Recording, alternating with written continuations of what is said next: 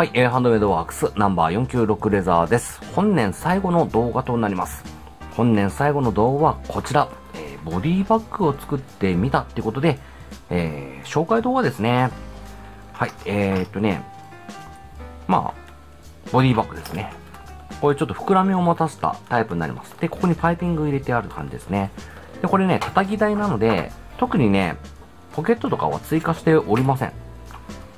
はい、内装も本当にね、シンプルな感じ。うん。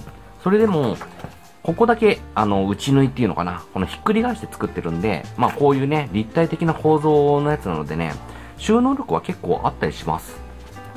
うん。今これ自分使っているんですが、結構ね、使いやすいなと思って。まあそれでも、ポケットとかはね、まだつけていないので、来年の2月ぐらいには、えー、まあ、ちょっとギミックを追加した状態で、しっかりさせたものを作って動画にできたらなと、いいなと思っております。はい、一応こんな感じね。よいしょ。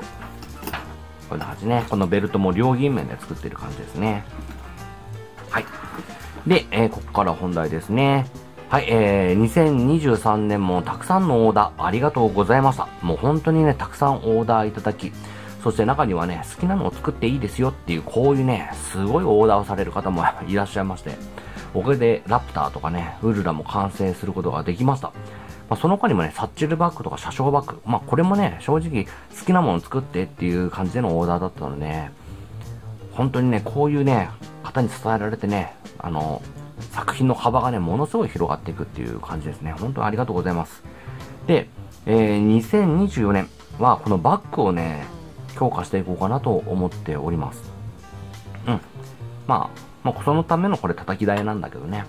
その他にもトート、メッセンジャー、まあ、基本のね、えー、バッグはとりあえずどんどん作っていこうかなと思っております。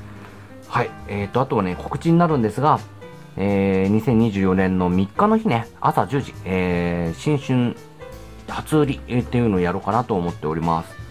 これね、クリスマスの時ね、実はやったんですよ。クリスマス特化セールとか言って、あの、思いつきでね、何の告知も打たずに、作品ポコって出したらね、すぐ売れてしまったんですけど、まあ、それを見たね、常連様からね、あの、嘆きのメールが来まして、教えてよっていうね ごめんなさい。本当にね、ごめんなさいね。